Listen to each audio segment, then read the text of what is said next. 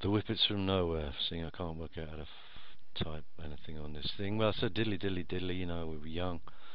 Sort of punk rock if you were uh, came from Devon.